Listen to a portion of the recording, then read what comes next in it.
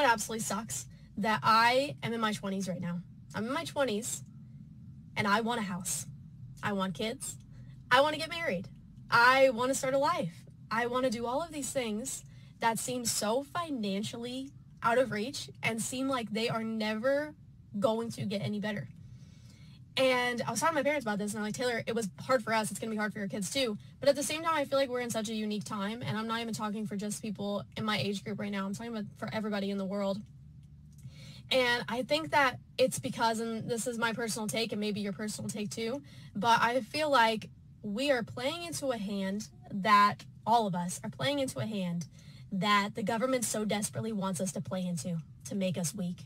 And this hand is not knowing or not knowing or or ignoring the fact that united we stand divided we fall. And i feel like so many of us are jumping into a, a, category of republican or liberal or i voted for this or i voted for that or i'm against this or i'm against that that we forgot that we're all on the same team and we're so divided.